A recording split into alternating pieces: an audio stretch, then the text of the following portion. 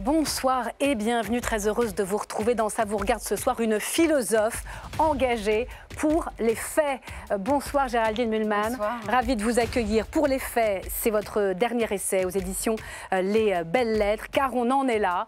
Les faits sont tellement maltraités, manipulés, déformés, qu'il nous faut réapprendre à les défendre, y compris dans les pays libres. C'est un essai passionnant sur le journalisme, notamment à l'heure de la guerre des images. On en parle longuement. Merci de votre Toutes les deux tout à l'heure. Notre grand débat ce soir sur la situation humanitaire à Gaza, l'évacuation des premiers binationaux et étrangers a commencé euh, via le poste frontière avec euh, l'Égypte. L'armée israélienne continue son avancée dans l'enclave. Les combats de la nuit ont été intenses. Le bilan des victimes civiles palestiniennes s'alourdit.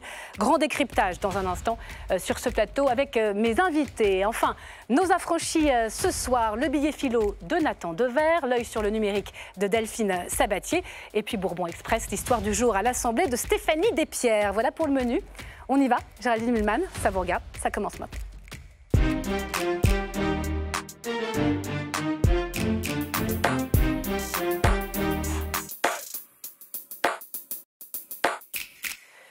Est-on à un tournant de l'offensive israélienne? Le Premier ministre Benjamin Netanyahou parle ce soir de succès impressionnant aux abords de la ville de Gaza, tandis que la situation humanitaire est qualifiée de profondément inquiétante par l'Organisation mondiale de la santé. Des experts mandatés euh, par l'ONU estiment même que, je cite, le peuple palestinien court un grave risque de génocide. Bonsoir Ilana Sicurel. Bonsoir. Merci d'être là. Vous êtes députée européenne Renew.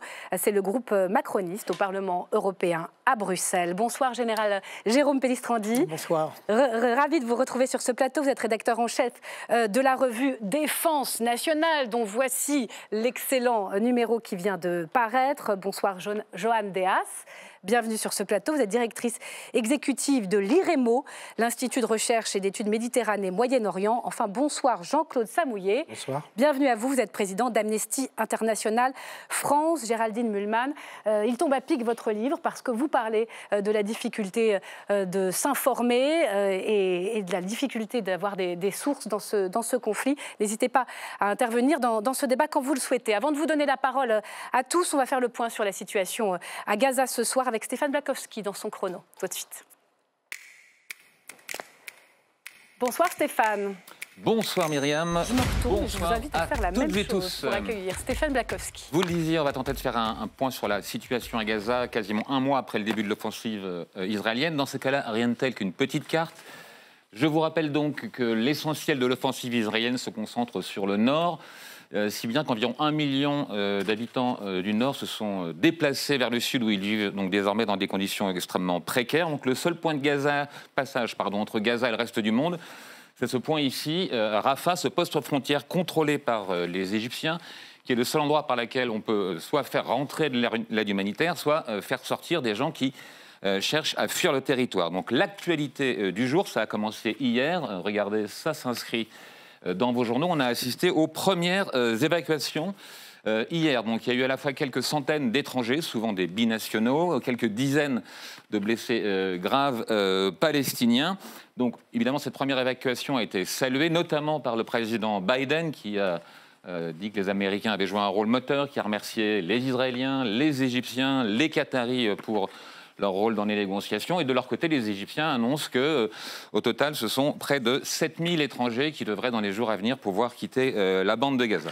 Le problème, c'est que si l'Égypte euh, est prête à faciliter l'évacuation des étrangers, elle n'a en revanche aucune intention d'accueillir des Palestiniens qui, eux, voudraient fuir les bombardements israéliens. Il y a deux raisons à ça. Premièrement, elle redoute qu'il puisse y avoir des infiltrations de combattants euh, du Hamas sur son territoire, ce qui risquerait de déstabiliser euh, le régime. D'ailleurs, vous voyez, euh, on a vu dans la presse que l'Égypte avait déplacé des, chars pour éviter une intrusion. Et la seconde raison, c'est que si des centaines de milliers de Palestiniens devaient fuir la bande de Gaza pour échapper au bombardement. Qui sait si Israël, une fois le conflit apaisé, les laisserait rentrer à nouveau? Donc l'Égypte ne veut pas de Palestiniens. On écoute le président Al-Sisi.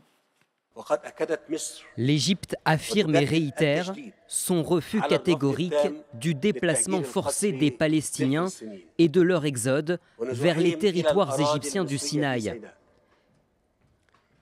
Car cela ne représente rien de plus qu'une liquidation définitive de la question palestinienne, la fin du rêve d'un État palestinien indépendant et de l'anéantissement de la lutte du peuple palestinien. Alors bien sûr, si les Israéliens ne veulent pas euh, accueillir les euh, Palestiniens qui fuient les bombardements, ce qu'il faudrait au minimum, c'est qu'on puisse faire rentrer de l'aide humanitaire à l'intérieur de Gaza pour les aider. Mais cette fois-ci, ce sont les Israéliens qui s'inquiètent à l'idée que cette aide euh, pourrait servir au Hamas ou dissimuler une aide pour le Hamas. On peut prendre un exemple, celui du carburant, où là, carrément, Israël dit non, on ne veut pas laisser rentrer de carburant, ça va servir à mener le conflit pour le Hamas. Sauf que le carburant, il est utile pour tout le monde à Gaza, il est utile tous les jours dans la vie quotidienne. C'est ce que explique Philippe Lazzarini, qui est le représentant de l'ONU pour les réfugiés palestiniens. Nous savons que le carburant ici à Gaza est absolument essentiel. Car sans carburant, nous n'avons pas de générateur, nous n'avons pas de commerce alimentaire qui fonctionne, nous n'avons pas d'hôpital qui fonctionne et vous ne pouvez pas pomper de l'eau. Donc si d'un côté on peut se réjouir de voir l'évacuation euh, première euh, euh, partie de la population euh, qui cherche à sortir de Gaza. En revanche, on voit bien qu'il y a un problème de l'autre côté pour faire rentrer euh, l'aide humanitaire. D'ailleurs, regardez, même le président Biden a lancé un appel à une pause. Vous voyez, il n'y a que pause, hein, entre guillemets. Il n'a pas rajouté humanitaire. Mais alors, justement, c'est la question. Si on fait une pause, c'est une pause. Pourquoi? C'est pour évacuer ceux qui ont la nationalité de pays occidentaux pour partir ou c'est une vraie pause pour permettre d'aider les Gazaouis qui sont sous les bombes? Bah, bah Là, il y, y, a débat. Là. Je vais commencer euh, avec vous, Joanne Dehaas. Merci beaucoup, Stéphane. Euh, l'étau se dessert un peu, un tout petit peu. Euh, avec, alors, il faut être très prudent sur, sur les chiffres, hein, mais en tout cas, on a plusieurs centaines de personnes, étrangers, binationaux, parfois simples, enfin, uniquement palestiniens, euh, blessés qui peuvent euh, aujourd'hui sortir euh, via le, poste frontière de, de Rafah. C'est le fruit d'un accord avec le Qatar, Israël, Hamas, Égypte et Qatar. À chaque fois, on retrouve le Qatar. C'est le pays qui détient la clé aujourd'hui de la question humanitaire, notamment dans ce conflit alors, euh, le Qatar, c'est euh, traditionnellement un pays qui a toujours servi d'intermédiaire euh, dans les, conflits entre Israël et le Hamas, et même les conflits aussi internes, parce que le Qatar parle au Hamas, ce qui n'est pas le cas des autres interlocuteurs occidentaux qui considèrent le Hamas comme une entité terroriste et donc, de facto, coupent les ponts et ne peuvent pas s'entretenir directement avec, avec le Hamas. Donc le Qatar joue ce rôle d'intermédiaire, qui est un rôle qui est un rôle très euh, disons, salué et très. Euh, voilà, enfin, je, je sais, j'essaie de trouver mon mot. Oui, euh, il est, reconnu aujourd'hui comme étant le mandataire, enfin, le médiateur dans, ce conflit, même s'il est un peu jugé parti, parce qu'on sait qu'il a financé aussi le, il a financé, le Hamas pendant, pendant longtemps avec, avec l'accord des Israéliens qui Absolument, les yeux. Ce que je, je, précise ça. Il faut rester prudent ou est-ce qu'il il pourrait y avoir plusieurs milliers de personnes évacuées via, via l'Égypte? Euh, je pense que pour le moment, il faut rester très prudent parce que ça concerne principalement euh, les binationaux. Hein. Il y a une très petite minorité de personnes gazaouis qui sont, qui sont sorties euh, des blessés, mais ça concerne principalement les binationaux. et il faut rester très prudent parce que, comme ça a été expliqué dans votre, dans votre reportage, l'Égypte est très réfractaire à l'idée de pouvoir laisser rentrer davantage de Palestiniens sur son territoire. Mais pourquoi vraiment? Ça semble incompréhensible au vu de la situation humanitaire aujourd'hui. L'Égypte, euh, pour deux raisons selon moi. La première raison, c'est que d'un point de vue stratégique, l'Égypte n'a aucun intérêt à euh, euh, provoquer un mouvement de population qui puisse potentiellement faire rentrer des éléments du Hamas à l'intérieur du Sinaï. Je vous rappelle que le Hamas est un mouvement qui est affilié aux frères musulmans. Les frères musulmans sont l'ennemi juré d'Al-Sisi. Terroriste. Qui, qui, est en tout cas un, mouvement islamiste qui est l'ennemi juré d'Al-Sisi. Et donc Al-Sisi n'a pas du tout envie de voir des éléments du Hamas qui, qui infiltrent le Sinaï. La deuxième chose, c'est que, euh, et, il l'a d'ailleurs très clairement dit, on est peut-être potentiellement face à une seconde Nakba. La Nakba, pour recontextualiser, c'est ce qui s'est passé, ça, ça veut dire la catastrophe. Euh, c'est ce qui s'est passé en 1948, euh, pendant la guerre entre euh, la guerre israélo-arabe après la, déclaration d'indépendance de l'État mhm. d'Israël. Immédiatement. vous avez 750 000 euh, Palestiniens qui ont soit été expulsés, soit ont fui les combats. Et donc c'est considéré comme dans, la, dans, le narratif identitaire et collectif palestinien comme une catastrophe. Si on part, on ne revient pas, c'est ça? Si on part, on ne revient pas. Et euh, la situation là voilà. et donc, telle que les gens craignent qu'il y ait un projet dissimulé comme un projet qui se veut humanitaire. Les gens craignent que le projet. les gens, c'est qui? Alors, les observateurs, euh, du, les observateurs du conflit, les juristes internationaux, euh, les humanitaires. Euh, les juristes internationaux sont à l'heure actuelle en train d'avancer des éléments qui peuvent laisser penser qu'on a des propos juridiquement qualifiables de génocidaires. Euh, par certains membres du gouvernement israélien, notamment Benjamin Netanyahou, euh, qui a cité euh, la Bible pour inciter à un massacre. Là, vous dites beaucoup de choses, parce que dans ce conflit, on sait à quel point les mots comptent et, sont très, très importants. Ilana Sicurel, déjà sur les évacuations, le Maroc, qui n'est pas le pays arabe le plus hostile à Israël, dit que la communauté internationale est inactive. Est-ce que vous, vous avez l'impression que les Occidentaux ne mettent pas assez la pression euh, sur euh, Israël pour épargner les civils, déjà sur ce point-là, où vous dites euh, cette évacuation, c'est déjà ça. Oui, alors je voudrais quand même réagir parce que je ne peux pas rester sans, sans, commenter ce qui vient de dire, qui m'a profondément choqué. C'est-à-dire que l'idée d'un génocide, je crois que les Israéliens ont été extrêmement clairs. Le propos génocidaire. oui, non, mais bon, euh, bah, c'est pas pareil. Préciser, mais c'est. Alors ce soir, il y a deux, deux mandataires, de, deux experts de l'ONU qui disent risque de génocide. Oui, je alors, guillemets et je les referme. Un génocide, on est en droit euh, international. Un génocide, et c'est ce qui fait toute la différence. Et, si vous me le permettez, je vais commencer par là. C'est-à-dire qu'il y a une différence à faire, et nos téléspectateurs ne comprendront rien si on n'apporte pas cette précision. Euh, c'est qu'en droit international, on fait vraiment la différence entre un crime, une attaque qui vise délibérément les civils. Il ne fait aucun doute que le 7 octobre, euh, on est arrivé en plus au paroxysme de l'horreur et de la barbarie, et c'est très documenté puisqu'en plus les terroristes ont filmé ce qu'ils ont fait. Donc là, il y avait d'évidence une volonté non seulement de tuer le plus de civils possible, mais en plus de leur faire subir le pire. Euh, il est évident aussi que euh, quand vous avez des... Et c'est en train d'arriver, hein, ces heures-ci, l'envoi de, de roquettes dans des zones très peuplées en Israël, on cherche à tuer le plus de civils possible. Donc là, on est dans un cadre extrêmement clair.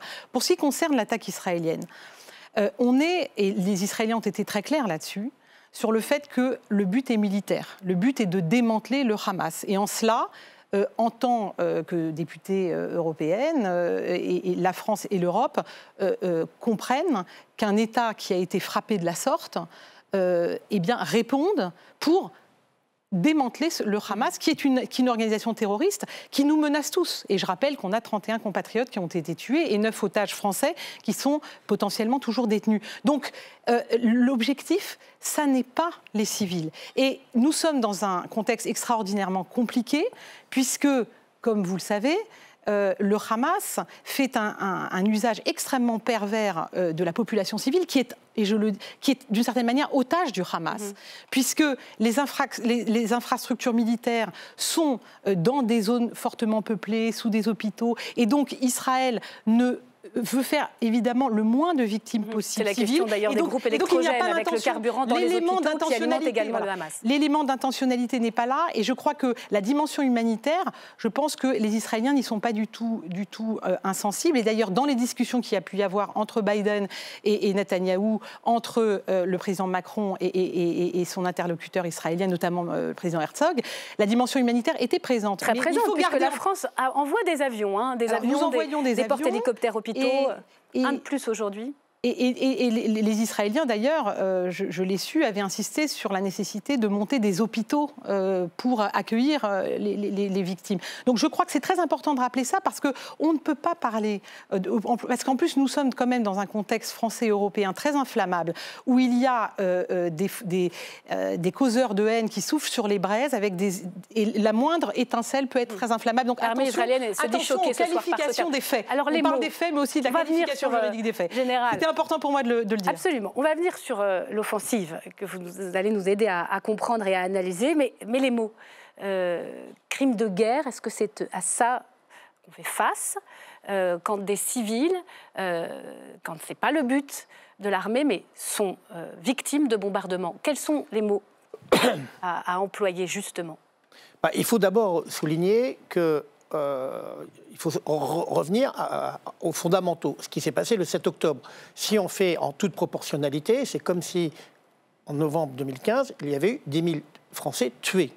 Donc on est dans quelque chose qui est extraordinaire. Ce qui n'est d'ailleurs qui n'est jamais arrivé dans l'histoire d'Israël depuis 1948, avec autant de victimes civiles par acte de terrorisme. Bon. Et à cela se rajoute le fait qu'il y a environ 240 otages israéliens et binationaux qui sont quelque part dans la bande de Gaza. Donc, ce qui est très compliqué sur le plan militaire, c'est qu'il n'y a pas de bonne solution. Mhm. D'abord, premièrement, le Hamas, dire, et ça, souvent, il y a beaucoup de confusion dans les plateaux quand on parle des militaires du Hamas. Je suis désolé, les, euh, les membres du Hamas ne sont pas des militaires. Ils n'ont pas droit, par exemple, au statut de prisonniers de guerre. Ils sont des militants d'une organisation que certains États qualifient de terroristes comme la France.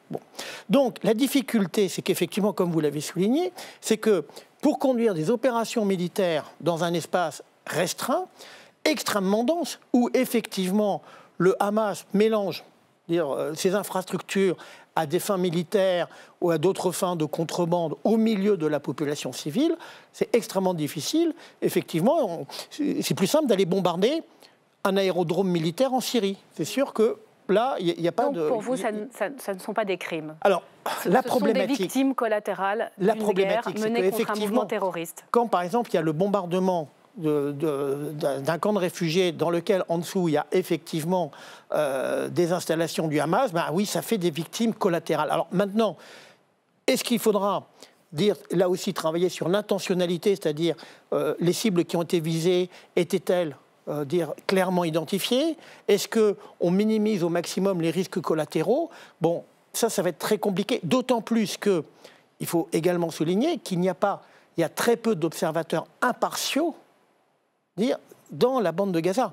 Et donc, euh, ça sera euh, notamment, par exemple, sur le bilan humain, bon, fourni par le Hamas, qui est un bilan qui est fourni par le Hamas. Mhm.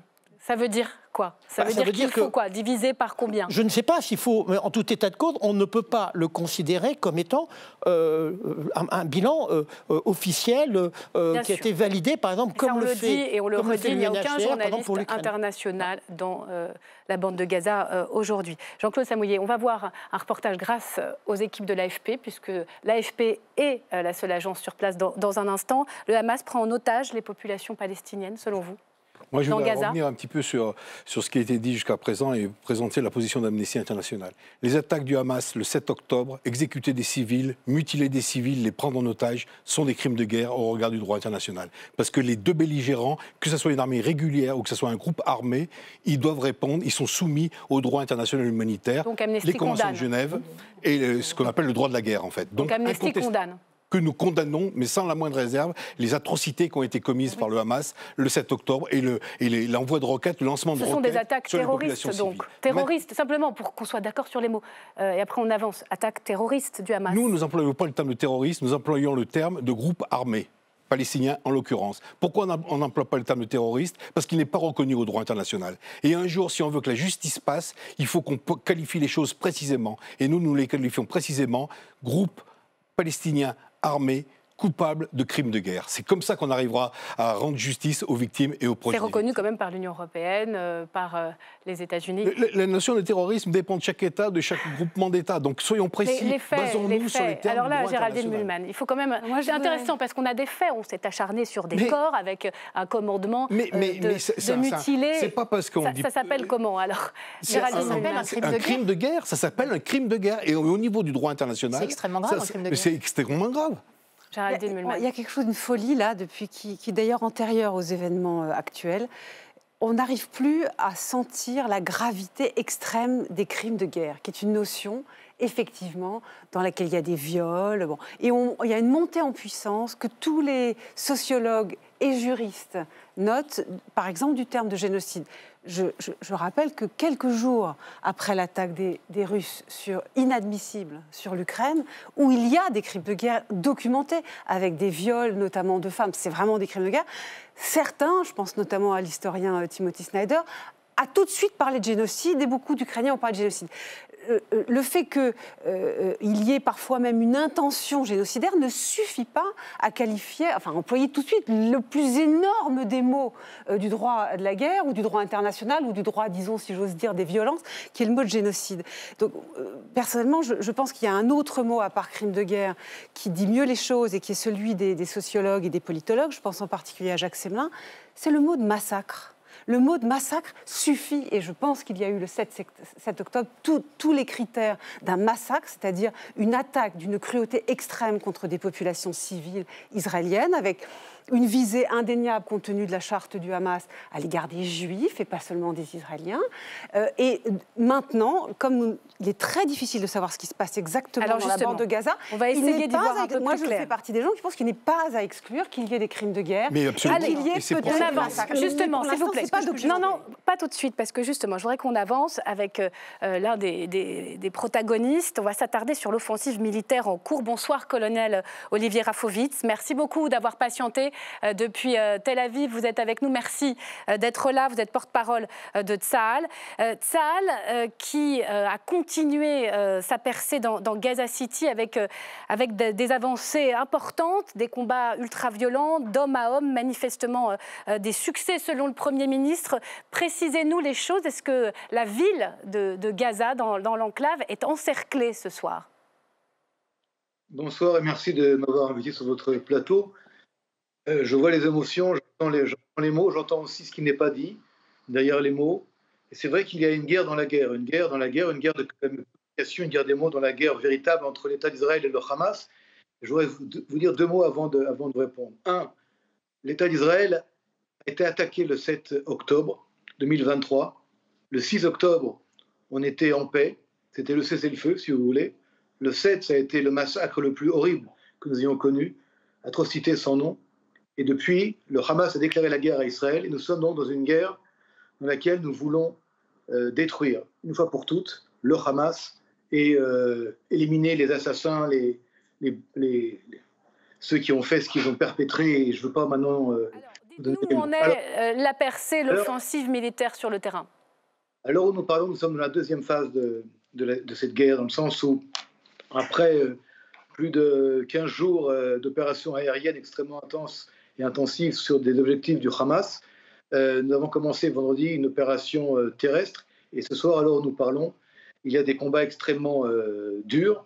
Nous avons 20 morts depuis le début des opérations et nous sommes maintenant en train d'encercler la ville de Gaza City. Et je rappelle, au niveau de l'humanitaire, que nous avons depuis le début annoncé en arabe, par différents canaux, à la population gazaoui de quitter la région nord pour euh, la région sud, entre autres la région euh, autour de Khan Younes, qui est une zone humanitaire avec des médicaments, avec de la nourriture, avec de l'eau, et ceci en fin de compte pour éviter qu'elle soit prise dans les combats. Le fait est que le Hamas, lui, ne veut pas, ou empêcher en tout cas que les Gazaouis s'en aillent.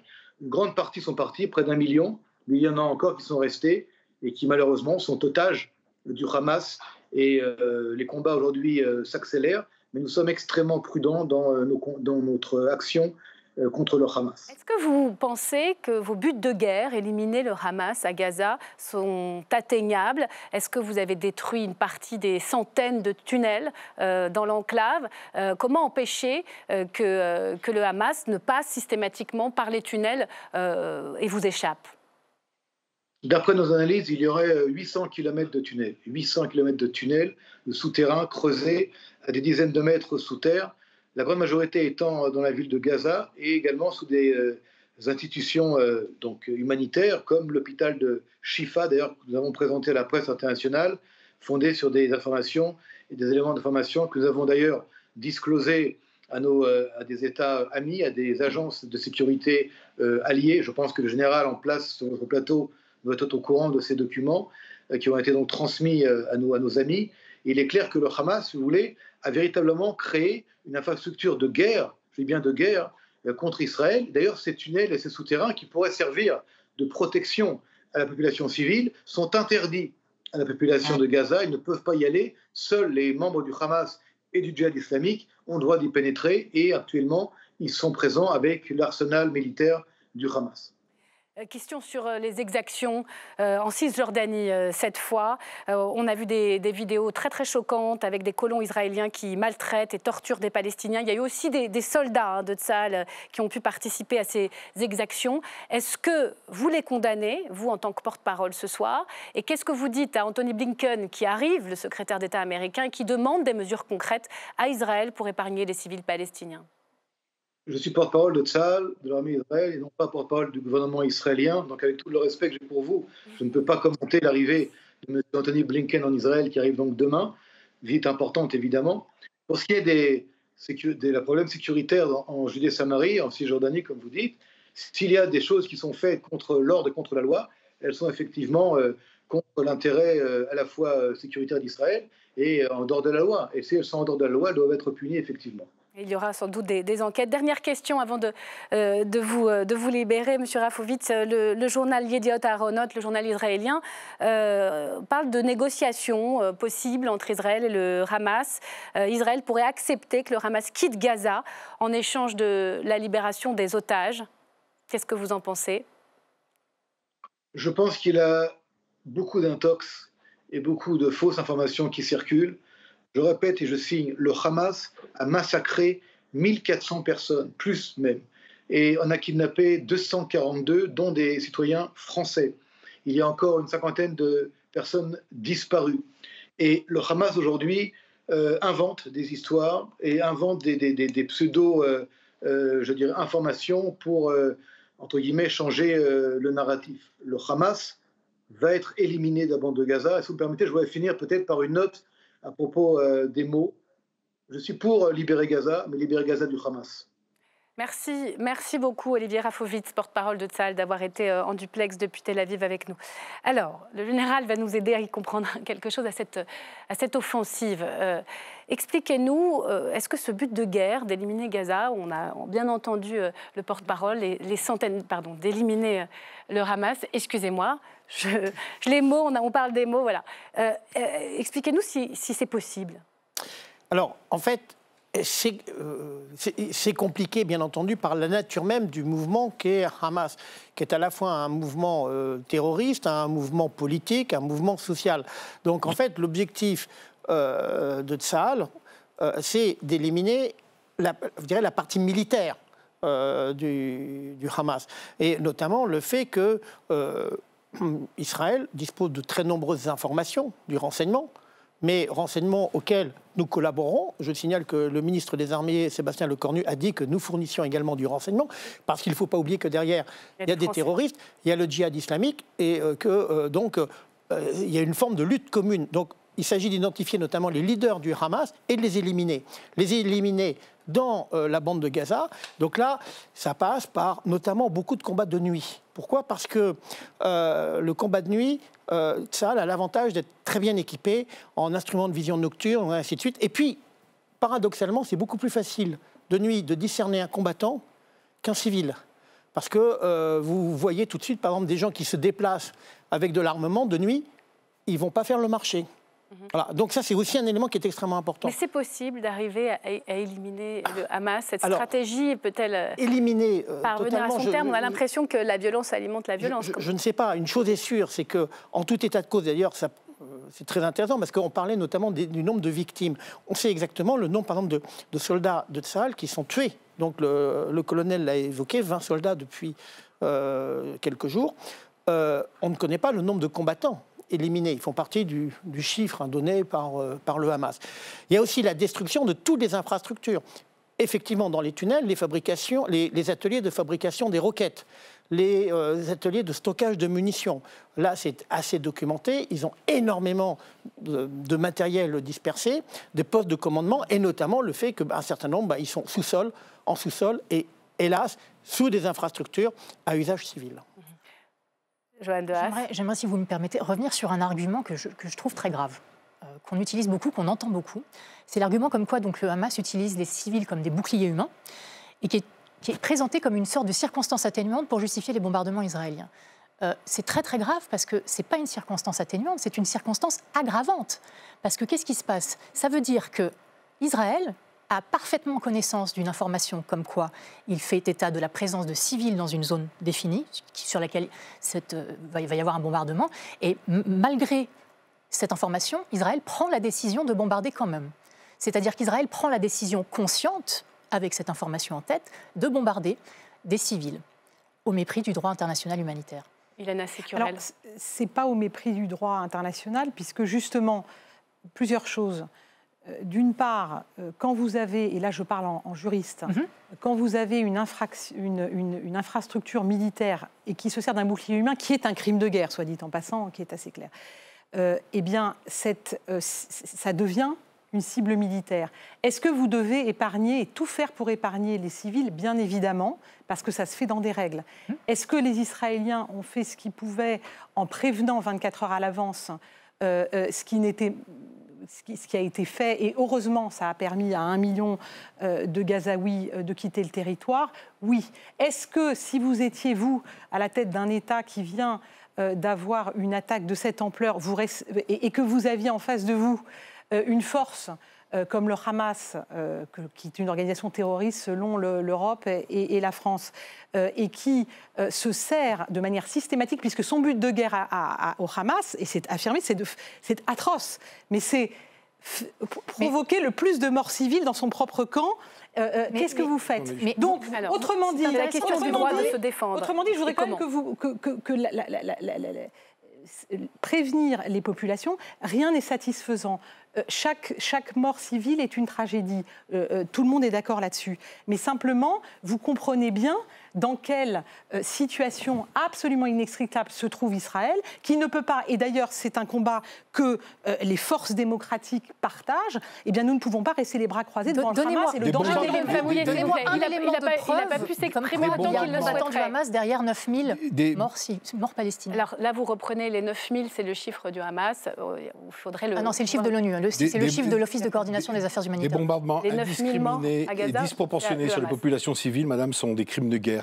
Le fait de faire un blocus et d'affamer une population, de la priver d'eau, de la priver de gasoil, qui est justement pour faire tourner les hôpitaux, pour alimenter les pompes à eau, pour alimenter les usines de dessalement, sont des crimes de guerre aussi. Alors qu'est-ce que vous demandez au nom d'Amnesty International Nous demandons un cessez-le-feu de façon à la, mise en place, de pouvoir mettre en place des corridors humanitaires, parce qu'on a vu tout à l'heure des personnes qui, au compte-gouttes finalement, qui quittaient la bande de Gaza, mais nous ce que nous demandons, c'est que les, les biens de première nécessité arrivent et en nombre. Il y a eu 59 camions hier, 62 aujourd'hui, mais il en faudrait 100 par jour. Il faut soulager la détresse de la population gazaoui qui est au bord du gouffre humanitaire. Vous faites confiance à la communauté internationale pour euh, faire la pression, mettre la pression Il faut continuer, que il faut continuer chacun dans notre rôle. Elle aboutit, les États, mais difficilement. La communauté internationale, l'Union européenne, les ONG, il faut faire pression pour qu'il y ait un cessez-le-feu de façon à pouvoir mettre en place des corridors humanitaires et, laisser le temps de négocier la libération des, des, otages. Jérôme Pellistrandi, on sait que les Américains reviennent, ça c'est pas Joe Biden, mais c'est Anthony Blinken euh, demain. Euh, est-ce que les Américains ont les moyens euh, véritablement de peser Et comment vous, euh, le militaire que vous êtes, voyez ce conflit? Est-ce qu'il va durer? Il y a un pays dont on n'a pas parlé qui s'appelle l'Iran. Or, l'Iran, actuellement, met de l'huile sur le feu. Vous avez les, rebelles, les, outils qui tirent des, missiles et des drones vers Israël. Soit dit en passant, je pense qu'à Riyad, ils doivent être assez intéressant de voir comment ils perçoivent euh, cette action. Le Hezbollah a amplifié ses, actions. la, problématique, elle est là, c'est-à-dire qu'effectivement, on est, euh, le risque, c'est est-ce que le Hezbollah va rentrer euh, en guerre Hassan Nasrallah, son chef, doit s'exprimer demain. Vous pensez qu'il pourrait ouvrir un deuxième front? Bah, en fait, la problématique, là, elle est à Téhéran. que veut Téhéran? Est-ce que Téhéran veut profiter de la situation pour aggraver la situation et surtout empêcher euh, la mise en œuvre des accords d'Abraham. Et donc, c'est la raison pour laquelle le déploiement militaire américain est extrêmement important. Je rappelle aussi que nous sommes présents militairement avec un groupe autour du porte-hélicoptère amphibie avec bien entendu une priorité donnée à l'aide humanitaire, mais également avec des frégates qui sont là pour acquérir du renseignement, parce que effectivement, si euh, d'autres pays, dont Téhéran, veulent mettre de l'huile sur le feu, bah, le dérapage sera dramatique. On va s'arrêter là. On va s'arrêter là. Merci à vous. Merci d'être euh, venu euh, débattre sur euh, ce plateau. Vous restez avec moi, Géraldine Mühlmann, dans une dizaine de minutes. Les partis pris de nos affranchis. Ce soir, le regard du philosophe Nathan Dever, de retour de Tel Aviv, sur la société israélienne, à front renversé, il nous dira. L'œil sur le numérique de Delphine Sabatier, qui revient sur les polémiques autour de la reconnaissance faciale. Et puis dans Bourbon Express, ce soir, de quoi nous parlez-vous, Stéphanie? D'une nouvelle tentative des insoumis d'abroger la retraite à 64 ans. Ah bah bon courage, on verra ça. Merci, à tout à l'heure les amis. Mais d'abord, on va plonger dans votre livre, euh, Géraldine Munman. C'est une, d'une certaine manière un peu la, suite de, ce débat pour les faits. Aux éditions euh, des Belles Lettres, nous invite à revenir au récit des reporters sur le terrain. Le défi est de taille tant la défiance vis-à-vis euh, des médias est grand. Regardez, c'est dans l'invitation de Baptiste Gargui-Chartier. On en parle toutes les deux juste après. Si on vous invite, Géraldine Mulman, c'est pour votre analyse sur l'essence des faits, rien que les faits. Thème central de votre dernier ouvrage dans lequel vous rappelez leur importance, a fortiori dans une période polluée par les fake news. Nous sommes à un moment historique en ce moment où, triomphe l'idée du à chacun ses faits, que les, les gens voient singulièrement qu'il n'y a pas de commun. Géraldine Mulman, vous êtes philosophe, agrégé de sciences politiques et professeur à l'université Panthéon-Assas. Votre ouvrage le plus marquant reste sans doute celui sur la liberté d'expression, mais dans votre dernier livre, Réflexion subtile sur l'avenir du journalisme. Il faut apprendre à raconter les faits, c'est le travail des reporters, en essayant de mettre le moins de sensiblerie mm. singulière possible, en essayant de, de, parler, de raconter à la place de n'importe qui, pour que c'est ça le, contrat entre des gens qui racontent et des gens qui reçoivent, c'est ce que j'appelle le témoin ambassadeur. Votre livre nous plonge dans un journalisme du réel, dites-vous. Côté pile, analyse de la sensibilité et côté face, analyse de l'impartialité journalistique. Pour bien comprendre, flashback historique. Vous vous appuyez entre autres sur l'affaire Dreyfus qui divise la société en 1894. Et à cette époque, l'objectivité journalistique fait déjà débat. À chacun ses faits, une presse Dreyfusard d'une part et une presse anti-Dreyfusard d'autre part. Vous évoquez ensuite la transition d'une presse d'opinion à une presse d'information, mais un siècle plus tard, la tendance serait-elle de nouveau inversée avec l'hégémonie des chaînes d'infos, des réseaux sociaux et l'intrusion des intelligences artificielles? À vous lire, chacun aurait ses propres faits et grandirait dans une réalité parallèle, alors y a-t-il encore une place pour ce témoin ambassadeur et le journalisme de terrain est-il en danger? Réponse, Géraldine. Il est en danger, ça fait déjà un moment. Je pense que nous avons eu euh, un siècle et demi euh, de tentatives très belles, à mon avis, de raconter à des gens qui pensaient différemment des faits, des, récits, donc, où il y avait des éléments factuels, pour moi souvent sensibles, perçus par le corps des reporters. Et, et quoi Les yeux et le corps sur place, ça c'est important. Et on peut avoir ensuite sur ces faits des avis extrêmement différents. Ce qui est très important, c'est de reconnaître les mêmes faits pour que le conflit des valeurs et des idées puisse avoir lieu sur la même réalité. Le contrat de confiance. Justement. Oui, que j'appelle donc en effet euh, qui, le témoin qui doit préexister entre le public et, le reporter de terrain. Il a disparu aujourd'hui Il est très fragilisé par plusieurs choses. Euh, les réseaux sociaux tendent à, à, être des discours plus que des récits. On, on, donne son opinion, on fait des blagues, on commente. Vous savez, raconter les faits, ça prend du temps, ça, interrompt une conversation. Ce temps-là euh, n'est pas celui exactement des réseaux sociaux. Et puis au bout d'un moment, c'est comme dans les conversations entre amis, euh, il y a des faits inconfortables, comme disait Max Weber, on les met de côté, et on reste avec les faits confortables. Alors qu'est-ce qu'un fait? Je m'adresse à la philosophe que vous êtes. La définition, et comment puis-je le reconnaître? Il y a deux chapitres de ce livre où j'essaie vraiment euh, de définir la chose en m'aidant de l'histoire de la philosophie. Je crois que la factualité, puisque les philosophes peuvent parler parfois comme ça, a toujours une dimension sensible. Je, pense que vous voyez, euh, Myriam, euh, on, peut intellectualiser tout, euh, toute la réalité autour de nous. Il y a un moment, cette table, je la sens, elle est un peu froide, elle est blanche. Je, crois que la réalité s'impose d'abord au corps. C'est un choc sur la peau. Voilà. Je, sais qu'il y a des philosophes qui ont voulu mettre en doute la vérité sensible, à commencer par notre grand philosophe national Descartes c'est extrêmement intéressant ce qu'il fait, mais je crois que l'histoire de la philosophie a avancé et que le caractère sensible de la factualité, le fait aussi peut-être que tout n'est pas intégralement pensable, il y a des choses qui nous arrivent mhm. Vous dites... à nos corps qui, ne sont pas, euh, qui ne sont pas d'emblée de l'intellect. Voilà. Je crois que la factualité, il y a une dimension de ce genre. Vous dites l'observateur impartial est un idéal, euh, voire une croyance, c'est ce que vous écrivez, mais même imparfaite, euh, elle est fondamentale, cette croyance. Alors oui, parce que si le fait est sensible, la question est de savoir si je peux faire partager, euh, je sais pas, ce soir, si je rentre chez moi, dire voilà, il y avait une table blanche, j'ai éprouvé cela, je, je, racontais cette situation. Euh, si le sensible est purement singulier, si vous avez une réalité sensible et moi une réalité sensible et les gens, les uns et les autres, chacun une réalité sensible, il n'y a pas de partage possible du sensible. C'est gravissime et je pense qu'aucune société ne peut se fonder, ne peut avoir un système judiciaire par exemple, mais ne peut avoir non plus un débat public digne de ce nom s'il n'y a pas ce pari d'un partage du sensible qui n'est pas un pari si fou que cela. Euh, il y a quand même des gens qui racontent des histoires, qui ont réfléchi à l'impartialité en essayant de prêter leur corps comme si c'était un corps universel mhm. à, une réalité, essayer de ne pas trop choisir en fonction de leurs avis. Donc cet échange, il est fondamental. Sinon, on ne pourra plus parler. Alors on va revenir. Idéal, bien sûr, difficile, mais, mais si on, y renonce avec un « à chacun ses faits » grandiloquent, très sûr de lui, quelque chose de très grave se produit dans la société. C'est un petit peu ce que vous dénoncez, le « à chacun ses faits » avec la virtualisation du monde, les réseaux sociaux. Euh, on n'arrive plus à se mettre d'accord sur rien aujourd'hui, vous diriez ça? Est-ce qu'on en est là? Où il ne faut pas non plus faire peur. Ce que j'appelle la virtualisation du monde est un risque. Je crois sérieusement qu'il est en cours. Et je crois sérieusement que sur certains sujets sensibles, les partis parfois n'ont même plus de faits en commun. J'ai même écrit une page sur le conflit israélo-palestinien avant même les événements actuels, puisque j'ai fini ce livre euh, cet été.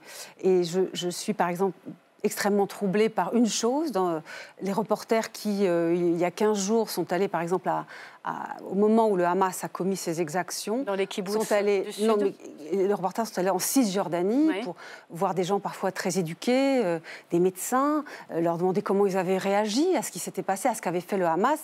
Ils ont eu des réponses parfois, mais ça n'a pas existé. Cette, cette attaque est une fake news, mm-hmm. ou alors les Israéliens ont, ont, commis des exactions contre leur propre jeunesse pour justifier une entrée en guerre. Et là, vous voyez quelque chose euh, qui est qu'un dans certains cas vraiment très traumatiques, on ne parle plus de la même réalité.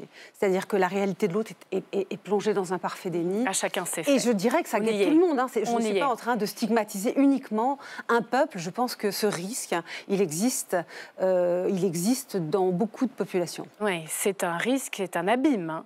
Vous dites, euh, les fake news ne sont pas dangereuses car elles nous trompent, elles sont dangereuses car elles nous font perdre la confiance dans les faits. Il y a une femme qui a une responsabilité particulière. On va voir son, son visage. Elle s'appelle Kellyanne Conway. C'est la conseillère de Donald Trump. C'est elle. Pourquoi c'est si dangereux ce qu'elle a fait? Parce qu'elle a inventé cette notion de fait alternatif. Donc quand Trump euh, disait il y avait euh, un monde, euh, enfin non, les journalistes disaient il n'y avait pas grand monde au moment de l'investiture, on avait des images. Elle disait il y a des faits alternatifs à ceux que nous présente la presse américaine. Euh, le, Covid est difficile à soigner. Le, le, président Trump nous a expliqué que si l'eau de Javel euh, pouvait nettoyer une table, euh, on devait bien avoir un moyen de nettoyer notre corps euh, du Covid. Il y a, des faits alternatifs. Cette, cette espèce d'idée, c'est elle qui l'a inventée. C'était assez génial, parce que ça a laissé tout le monde de rond de flanc, vous voyez. Et c'était Et la vérité, c'est qu'il n'y a pas toujours des faits alternatifs. Il y a des faits imaginaires, il y a des faits... Euh, Rationnels 2 et 2, 4. Ah oui, il y a des faits rationnels, mais vous savez, les, faits rationnels, ils s'imposent à nous, euh, peut-être pas corporellement, mais que 2 et 2 fassent 4 et pas 5, c'est la factualité dans ce qu'elle a d'imposant. Eh bien, la factualité sensible, contingente certes, un nombre de morts dans les kibbutz, dans tel kibbutz, dans tel autre kibbutz, un nombre de euh, civils massacrés à Gaza. Et cette question, au passage, c'est difficile à trancher parce qu'on n'a pas de journalistes euh, internationaux pouvant évoquer cette factualité d'une manière qui nous donne parfaitement confiance. Ils ne peuvent pas s'exprimer non plus, ceux qui sont là-bas, de manière tout à fait libre. Mais la question des faits, lorsqu'on la prend sérieusement, elle s'impose comme deux et deux sont quatre. Et il n'y a plus assez de gens pour dire ça en ce mhm. moment, Myriam. Mhm. Alors il y a euh, pas mal de responsables, y compris euh, parmi euh, notre profession, les médias au sens large. J'en citerai deux puisés dans votre livre. Pascal Pro, pour symboliser la, question des, des, médias en continu, des chaînes d'information en continu. Vous dites au fond, sur cette chaîne, ces news, on a mis sur le même plan le discours et le récit. Autrement dit, les avis, euh, la subjectivité, l'interprétation et le récit des faits. je pense que ce risque de mettre du discours partout et de l'opinion partout, au lieu de donner un temps énorme à la narration qui essaye euh, de, comment dire, qui ne va pas de soi parce qu'elle interrompt les conversations, les jugements, elle essaie de, parler à tout le monde par-delà les opinions. Je pense que ce temps-là est diminué partout dans les médias. Mais il est vrai que euh, CNews le dit de manière incroyablement décomplexée. C'est-à-dire, nous parlons ici des faits dont personne ne parle. on laisse beaucoup aux chroniqueurs la narration même de ces faits, qui en fait est tout de suite prise dans un point de vue. Euh, l'idée qu'il n'y a que des points de vue et il n'y a rien qui s'impose pose par-delà les points de vue est, est extrêmement assumé. Tout est euh, relatif, donc les faits également. je, pense que, voilà, je pense que ce risque, je tiens à le dire, existe, y compris chez les gens qui font de l'anti-news, que le risque, c'est quoi? C'est de dire, ah ben nous, on va faire de l'anti-news en faisant la même chose mais à l'envers, on aura nos faits et nos avis militants opposés. Et je m'oppose à cela, je, pense que, je pense que ce serait une victoire euh, ultime de la logique CNews. Mhm. Non, il faut vraiment raconter les histoires que tout le monde peut recevoir. Dernier exemple, Cyril Hanouna que vous citez. C'est autre chose, c'est l'arrivée de la rumeur, presque de la post-vérité. Euh, dans son show euh, TPMP, vous dites il incarne la maltraitance maximale de la notion de fait à notre époque. Je donne un exemple, j'ai scripté. Absolument. un vrai travail de scripté. Vous savez, on découvre plein de choses. L'affaire Palmade et la drogue de l'adéno L'adrénochrome, euh, qui, par tous les chroniqueurs, et on voit très bien comment Cyril Hanouna, dans cette scène euh, du printemps dernier, euh, met de l'huile sur le feu, ce serait, dit-on, disent beaucoup de complotistes, QAnon, etc., une substance prélevée euh, euh, euh, sur le sang des enfants qui seraient donc sacrifiés par tout un tas d'élites hollywoodiennes, américaines, parti démocrate et pourquoi pas chez nous aussi. Et paraît-il, cette substance donnerait une, forme d'immortalité. Bon, c'est aberrant, l'adrénochrome existe. C'est une substance qu'on construit parfaitement de manière synthétique. Ça n'a rien à voir avec le sang d'enfant et c'est pas si extraordinaire que ça. Ça donne surtout des tachycardies. Enfin, donc c'est un, un délire pur. Mais on voit très bien que comment euh, l'animateur laisse monter la, fait monter la sauce. Et, surtout, il a cette phrase extraordinaire. Euh, un, un, invité en parle. Mais ce qu'il dit là-dessus, tout le monde en parle. On en parle énormément sur les réseaux sociaux. C'est vrai. Donc, il semble que ça existe. Et tout d'un coup, on voit bien. Et ça existe. Et au bout d'un de, quart d'heure, ça existe. Et ce que je trouve terrible, c'est que le journalisme moderne s'est construit contre la rumeur, en allant vérifier avec des reporters impartiaux. J'évoque une, Daily Bly, une journaliste américaine extraordinaire de la fin du 19e siècle, qui a, tué une rumeur. Et, ça, finalement, ça va mal. Ces idéaux-là vont très mal. Et la rumeur se venge à des heures de grande écoute. Il y a des rumeurs terrifiantes. Merci infiniment. pour les faits, on s'engage pour les faits. C'est très important. C'est un livre, vous l'avez compris, euh, que l'on vous recommande sur LCP aux éditions les, les, Belles Lettres. Vous allez voir, ça va continuer à vous intéresser. Les parties pris de nos affranchis, tout de suite, on les accueille.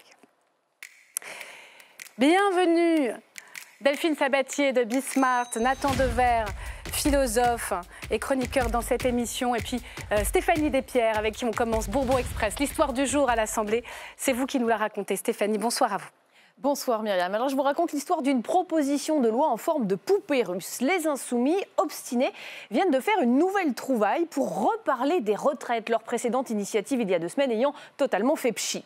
Ils ont donc trouvé qu'au printemps dernier, il n'y avait pas une proposition de loi Lyotte pour abroger la retraite à 64 ans, mais deux. Une deuxième, plus petite comme pour les poupées russes.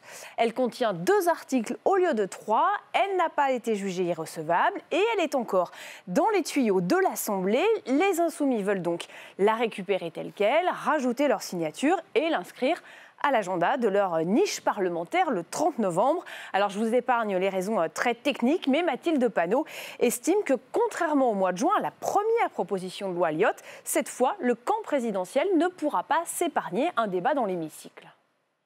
Le subterfuge qui a été utilisé la dernière fois pour contrer le fait que l'Assemblée nationale ne puisse pas voter contre la retraite à 64 ans, ne peut pas fonctionner cette fois-ci. Donc peut-être que Mme Yann Brompivet va inventer encore de nouvelles règles pour déroger aux choses. Mais normalement, si vous regardez ce qui s'est passé la dernière fois, nous sommes sur une proposition de loi jugée recevable et qui va abroger l'ensemble du projet de loi de financement de la sécurité sociale rectificatif Alors le premier auteur de cette... non, pas simple. Le premier auteur de ce texte d'abrogation, exhumé par les Insoumis, c'est Bertrand Pancher, le président du désormais célèbre groupe Lyot. Alors il n'a pas été consulté par la France Insoumise, simplement prévenu hier par Mathilde Panou. Les Insoumis reprennent votre proposition de loi. Qu'en pensez-vous? Tout groupe parlementaire peut reprendre n'importe quelle proposition de loi. La France insoumise le fait, euh, dont acte. Moi, je rappelle que nous avions été battus en commission des finances, et là, euh, la présidente de l'Assemblée nationale avait bloqué notre loi de façon à ce qu'elle puisse pas être examinée euh, en séance. Donc, les mêmes causes peuvent reproduire les mêmes conséquences. Vous remarquerez que l'enthousiasme de Bertrand Pancher n'est pas débordant et que son optimisme est assez mesuré. Alors, euh, la majorité, même pas peur ou on tremble au contraire? Alors, on peut dire, Myriam, que les Insoumis ont réussi quand même leur surprise. Les députés Renaissance ne s'attendaient pas à cette énième tentative d'abroger la retraite à 64 ans. Le camp présidentiel voudrait passer à autre chose, mais ils réfléchissent quand même, du coup, à une stratégie. Sur la forme comme sur le fond, Renaissance estime que les Insoumis se trompent, qu'il n'y a pas de différence entre la première proposition de loi Lyotte de juin dernier et la deuxième. Il y aura donc un nouveau débat sur la réforme des retraites dans l'hémicycle bientôt? Écoutez, on va voir, mais vous savez, la Constitution n'a pas changé. Donc on va rappeler à nos opposants que, un, euh, revenir sur la retraite, euh, sur la réforme des retraites est impossible au titre de l'article 40, ça crée une charge, donc ça n'est pas possible. Puis deuxième obstacle constitutionnel très important, c'est qu'une loi ordinaire ne peut pas euh, euh, supprimer euh, un projet de loi, enfin une, loi de finances. Autrement, ce serait une négation de l'article 49.3 de notre Constitution, donc ça n'est pas possible. Donc il y a un double obstacle constitutionnel très fort. Bah, l'espoir fait vivre alors. C'est non. C'est un peu non. Chez Renaissance, on imagine déjà plus ou moins le même scénario qu'en juin. En commission, les députés du camp présidentiel pourraient réécrire cette proposition de loi, la vider de sa substance et sortir juste avant l'hémicycle le carton rouge de l'irrecevabilité. Alors, nouvelle passe d'armes en perspective, sauf que c'est Jean-René Cazeneuve qui le dit, c'est un plat réchauffé. Mhm. C'est vrai que la retraite à 64 ans ne fait plus la une de l'actualité et surtout que la réforme est entrée en vigueur au 1er septembre. Merci beaucoup Stéphanie. Pierre d'un mot. Ils ont raison, ils sont en leur rôle, les insoumis, à vouloir continuer d'abroger ce texte Je n'ai pas jugé cela. Je, je, crois juste qu'une chose se dessine, c'est que l'usage du 49.3 est de moins en moins accepté. C'est parfaitement légal et constitutionnel, mais je crois que dans notre société, malgré tout, quelque chose s'est dessiné, une résistance à, l'usage de, de cet article. On enchaîne avec vous, Nathan. Nathan Dever, vous revenez d'Israël, vous avez passé trois jours de Tel Aviv au village euh, du Sud. Quelle image retenez-vous? Alors, euh, oui, bonsoir Myriam. Comme je m'y attendais, j'ai vu une société euh, traumatisée. Celui qui a sans doute le mieux exprimé ce traumatisme-là, c'était le président du Parlement. Il y avait une rencontre collective avec lui, qui a dit le 7 octobre, en l'espace d'une journée, nous avons vécu la Shoah. La Shoah en l'espace d'une journée, où l'idée que Israël a été confronté à une épreuve, à une expérience dont les Israéliens pensaient qu'elle était révolue, et plus encore que euh, ces, attaques-là du 7 octobre, qui étaient des pogroms en fait, euh, euh, le refus des pogroms était une des raisons pour, de la création de l'État d'Israël. Il y a un très célèbre poème qui a été écrit en 1903, qui a joué un rôle central dans l'histoire du sionisme, du poète Chaim Bialik, qui s'appelle Dans la ville du massacre, juste après des pogroms qui avaient eu lieu en Bessarabie à Kishinev, où Bialik décrit les horreurs euh, qui ont été faites dans ces pogroms, mais on a vraiment l'impression, en fait, de voir les images que nous connaissons du 7 octobre, et où Bialik critique le mythe de ce qu'il a appelé la passivité juive. Ça veut dire des pogroms où les juifs ne peuvent pas résister. Et mhm. Israël a été créé notamment pour, empêcher cela. Et que Israël se retrouve dans cette situation qui était pourtant la raison d'être, enfin, dont, le refus était la raison d'être de son existence, signifie, et ça je l'ai vraiment vu de A à Z dans ce déplacement, que les Israéliens en fait ont été confrontés à l'expérience de la possibilité de leur inexistence. Mhm. C'est la survie pour eux d'Israël qui est en jeu. Alors, quelle est la... On peut dire un mot ah, ah, à, la fin, à la fin. On va laisser terminer Nathan, puis je vous donne la parole juste après. Euh, est-ce que vous avez perçu une dimension politique de ce, de ce traumatisme du 7 octobre? Oui, et c'est justement ce qui m'a surpris. Euh, je m'attendais à voir une société traumatisée, mais je avais pensé à deux possibilités. Ou bien je m'étais dit, euh, ça va ressembler un peu à la France d'après le Bataclan. On se souvient de l'état d'abattement généralisé dans lequel nous étions tous, et l'abattement était presque le seul sentiment, la tonalité fondamentale. Ou bien je me disais, ça va peut-être être un peu comme les États-Unis post-11 septembre, même mhm. si je, n'étais pas là directement, mais c'est-à-dire un pays en proie à des pulsions vengeresses exprimées par le président Bush de l'époque. Or, j'ai vu ni l'un ni l'autre. Ce que j'ai vu avant tout, et c'était vraiment surprenant, euh, c'était un sentiment d'unité retrouvée. C'est-à-dire que depuis des années, et en particulier depuis des mois, la société israélienne est en proie non pas à une guerre civile, mais à une, situation assez proche de ce qu'ont vécu les États-Unis sous Trump, c'est-à-dire un clivage politique absolument majeur, notamment avec cette réforme de la justice voulue par Netanyahou, des manifestations fleuves euh, toutes les semaines, des réservistes de l'armée qui disaient qu'ils ne voulaient plus faire leur service. Donc, si vous voulez, un pays qui était en stand-by et en division. Or, le 7 octobre, cette unité semble avoir été retrouvée d'un coup. Je vous donne un exemple, mais qui est très intéressant. Il y a un organisme qui s'appelait Frères d'armes qui avait été en fait à la manœuvre de toutes les mobilisations anti-Netanyahou, et notamment pour demander aux réservistes d'arrêter mhm. de faire leur service. Le 7 octobre au matin, cet organisme a arrêté toutes ses activités politiques pour organiser le soutien aux populations civiles, toutes les infrastructures en fait pour, pour aider Israël à gérer cette crise. Autre exemple, autre image marquante, dans les rues de Tel Aviv, sur les murs, comme une sorte de stratification ou de sédimentation. Il y avait à la fois plein d'affiches avec les slogans pro-anti-Netanyahou, des slogans de division, mhm. et au-dessus, mais sans les avoir enlevés, il y avait des affiches relatives à cela, euh, au 7 octobre et à cette unité. Le sentiment que j'ai eu, c'est que derrière cette unité, il y avait l'idée d'une sorte de recomposition politique du pays profonde. Ce que je veux dire par là, c'est que dans le cataclysme qu'a vécu Israël, moi je ne peux pas vous dire le nombre d'Israéliens que j'ai rencontrés et qui m'ont dit que ce cataclysme les a transformés. J'ai vu des gens qui m'ont dit, euh, moi j'ai toujours été de gauche, je me suis battu pour la paix avec les Palestiniens, j'ai milité mille et une fois, et depuis le 7 octobre, je n'y crois plus. Je ne crois plus en cette paix. Et inversement, j'ai rencontré plein de gens qui étaient des fans absolus, acharnés de Netanyahou, qui m'ont dit, j'ai l'impression que sa politique est un mirage, je m'en rends compte, et qu'il faut une perspective de paix parce que sinon on s'en sortira pas. Donc, ce qui m'a marqué, mhm. c'est l'idée que à la fois les clivages avaient été abolis, les clivages de division, mais sans mettre la poussière sous le tapis. J'ai une phrase qu'on m'a beaucoup dite, c'était que c'était comme une sorte de deuxième guerre d'indépendance, au sens non seulement où la continuité d'Israël avait été menacée, mais plus profondément que c'était la redéfinition du pays qui s'engageait derrière même les actions militaires contre le Hamas. Merci beaucoup Nathan Dever. Une réaction. je trouve votre crainte très intéressante et l'idée d'aller réfléchir au trauma et de voir comment ça parle. Un trauma, ce que les gens disent est, est très intéressant. En même temps, il faut qu'on fasse attention aux mots. C'est le problème qu'on a évoqué tout à l'heure. Et je comprends parfaitement que dans des familles juives où il y a eu des, histoires de pogroms puis de Shoah, au passage, c'est pas la même chose. Hein, les pogroms puis la Shoah, politiquement, c'est pas tout à fait la même chose cette mémoire soit sollicitée. Mais je, crois néanmoins qu'il faut éviter ces mots. Euh, techniquement, un, euh, un, pogrom, ça se passe dans une population euh, sympathisante des massacreurs, avec des gouvernements qui ont été sympathisants des massacreurs à, l'égard de populations souvent assez ghettoisées et minoritaires. Là, ça s'est passé en Israël. La société n'était évidemment pas sympathisante. C'est une attaque. Et donc, je crois qu'il faut qu'on fasse vraiment attention. On laisse le Même si la mémoire je, comprends très bien dans les familles, soit sollicité de cette façon. Mais je suis d'accord avec vous. Hein. On enchaîne avec Delphine Sabatier. Vous avez été chroniqueuse, souvenez-vous. C'est pas très marrant d'arriver en dernier parce qu'on a moins de temps. Bonsoir Delphine. Vous vouliez revenir sur euh, ces polémiques autour de la, de la reconnaissance faciale. On se souvient après l'attentat d'Arras, Laurent Wauquiez avait demandé de, pouvoir expérimenter ça dans sa, dans sa région. Euh, ça n'est pas possible pour l'instant. Non, pour l'instant c'est non. Et euh, Laurent Wauquiez le, sait très bien. La loi n'autorise pas ces expérimentations. Mais pour combien de temps encore? Ça, c'est la question parce que la pression monte. Alors déjà, euh, le président euh, d'Auvergne-Rhône-Alpes nous dit qu'il réclame cette reconnaissance faciale pour détecter les individus suivis pour radicalisation terroriste et que si on ne réagit pas, le prochain drame est écrit d'avance. Hein. c'est ce qu'il a brandi dans, son interview aux Parisiens. Et puis là, encore plus récemment, c'est la région sud qui a fait une demande assez euh, similaire, alors que euh, sa demande pour installer la reconnaissance faciale devant le lycée avait été déjà retoquée en 2019. Et pourquoi c'est interdit?